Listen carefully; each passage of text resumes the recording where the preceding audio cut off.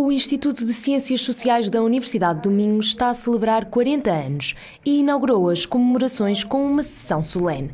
Durante a cerimónia, o ICS avançou com o anúncio de uma nova licenciatura em Proteção Civil e Gestão do Território e do mestrado em Turismo, que vem juntar-se à recente aposta numa licenciatura em Criminologia.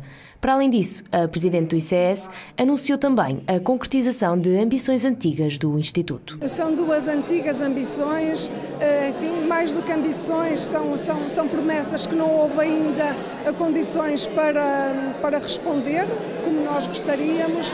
De facto, o Departamento de Geografia precisa de novas instalações precisa de, de, condições condignas. Estamos convencidos de que esse problema vai ser resolvido e depois falta naturalmente o Centro Multimédia, que é um projeto que tem 20 anos, mas nos últimos 3 anos e meio temos vindo a trabalhar de modo muito muito profundo. A sessão contou com a intervenção da Secretária de Estado da Ciência, Tecnologia e Ensino Superior, que reconheceu o trabalho desenvolvido pelo ICS e chamou a atenção para os novos desafios das ciências sociais.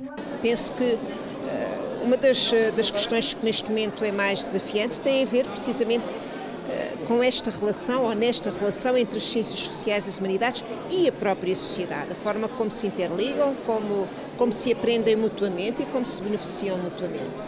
E isso tem, tem efeitos na, na, na área da formação das pessoas, os próprios contextos de formação têm que se atualizar, têm que, no fundo, também procurar responder àquilo que são as expectativas e as necessidades das pessoas que vêm cá fazer os seus cursos, seja a nível de primeiro grau, ou mestrado ou doutoramento. O ponto alto da sessão foi a conferência de César Hamling, professor emérito da Universidade de Amsterdão, que procurou desconstruir a temática das ciências sociais, exemplificando-a na prática das instituições. O ICS foi inaugurado em 1976 apenas com um curso, hoje tem cinco licenciaturas, nove mestrados, sete doutoramentos. O Instituto de Ciências Sociais é, aliás, atualmente, uma das maiores maiores unidades orgânicas da Universidade do Minho e conta também com cinco centros de investigação.